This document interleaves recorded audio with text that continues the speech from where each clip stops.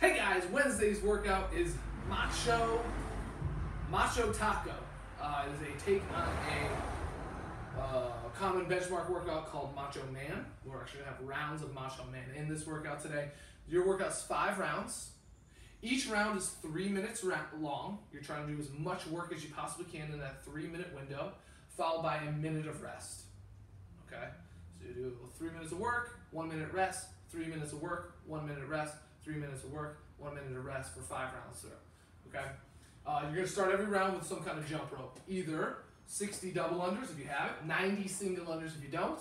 Uh, if you don't have a jump rope at all, you're gonna be either doing those lateral line hops or you're gonna be doing those single or double taps, whatever kind of motion you can do. We're looking for some kind of jumping motion there.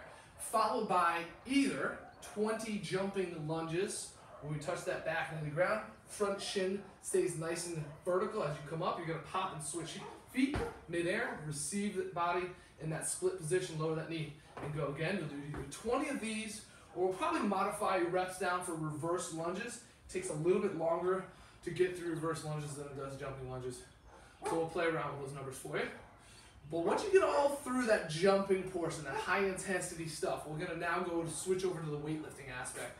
And we're gonna try and AMRAP or do as many rounds and reps as possible in the remaining time that you have in that three minute window of Macho Man. And Macho Man is three power cleans, three front squats, and three push jerks.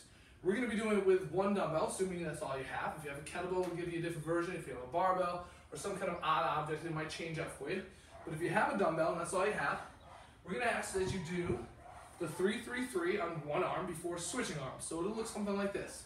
I'll do three power cleans, drive the dumbbell up to my shoulder, receive it, stand all the way up. I'll lower back down so that both heads touch the floor. Go again.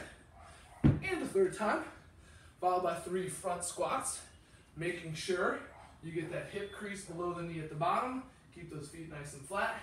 Stand all the way up. And then we're gonna finish with three push jerks. Essentially shoulder overhead.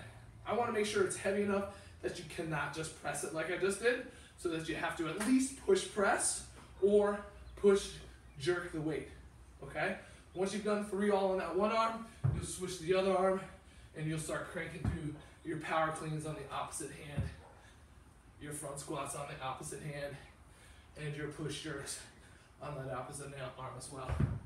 You're gonna crank through as many rounds as you can get of that in the remaining time. Rest a minute, do it again. All through the, the whole thing again. Um, so speed is the name of the game here. Knowing that you have a minute of rest, you wanna try and go as fast as you can. Here's the caveat to this workout. Hopefully you've been listening to this video long enough because you're gonna actually be scored on your slowest round today. So,